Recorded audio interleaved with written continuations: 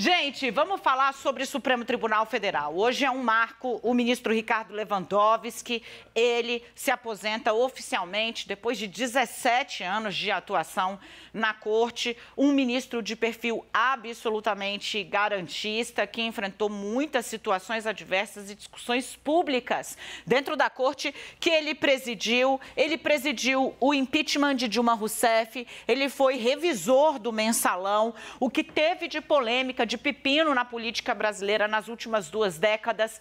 A mão deste homem teve uh, um peso uh, bastante importante para o desfecho desses casos. Lewandowski falou hoje à imprensa e disse que quem assumir o cargo dele vai precisar ter coragem para enfrentar pressões. O legado desse homem e mais, o que vai, uh, o espólio que ele deixa, como está sendo essa despedida, eu vou contar para vocês a partir de agora, começando nesse papo com o Theo Cury, que traz os detalhes da fala de Lewandowski e o clima. É, pelo que eu falei lá no gabinete dele, ninguém está querendo falar em despedida, o ministro está dizendo, olha, todo mundo vai continuar se vendo, vamos nessa, para cima, para cima. É isso aí, Daniela.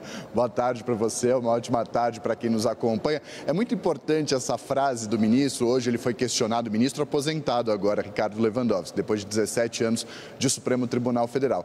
Ele foi questionado por jornalistas e aí pra, sobre o perfil do ministro que vai substituir ele, uma escolha que será feita pelo presidente Luiz Inácio Lula da Silva nas próximas semanas.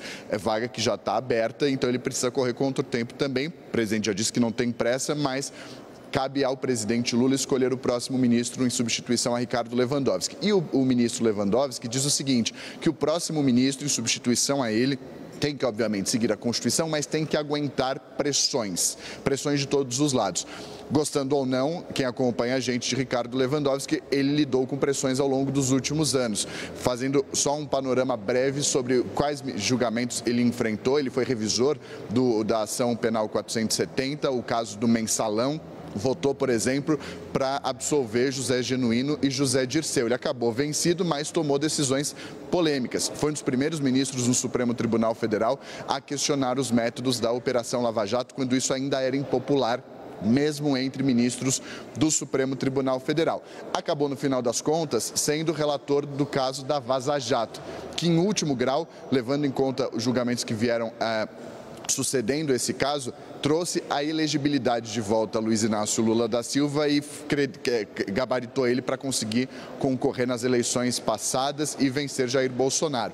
Então ele é relator de casos importantes, como por exemplo a lei das cotas no Supremo Tribunal Federal, também foi relator de uma ação que tratava sobre o nepotismo, que estabeleceu uma, uma, uma tese importante com relação ao nepotismo e teve um papel crucial na avaliação de pessoas próximas a ele inclusive de governadores, durante a pandemia do novo coronavírus. Foi, por exemplo, ele quem determinou que o governo de Jair Bolsonaro estabelecesse de maneira mais clara transparência e um cronograma com relação à vacinação. Também foi dado por Lewandowski a autonomia para que governadores tomassem decisões, mesmo que fossem contrárias à decisão do governo federal em um momento de embate entre governo federal e governadores nos estados durante o governo de Jair Bolsonaro. Lewandowski também, como presidente do Conselho Nacional de Justiça, estabeleceu as audiências de custódia, foi presidente do Supremo Tribunal Federal, nessa época presidiu o impeachment da então presidente da República, Dilma Rousseff. Então, ele passa por vários julgamentos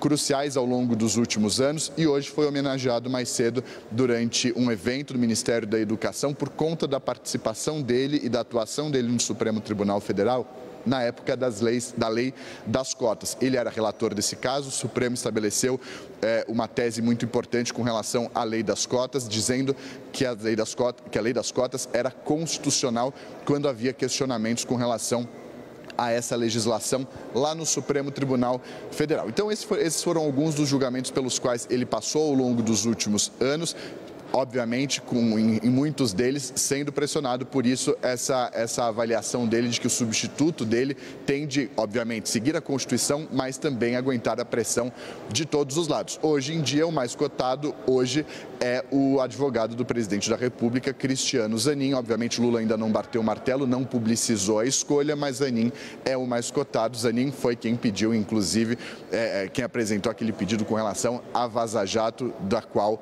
Ricardo Lewandowski era relator. A gente separou um trecho da fala do ministro aposentado de mais cedo e vocês acompanham agora.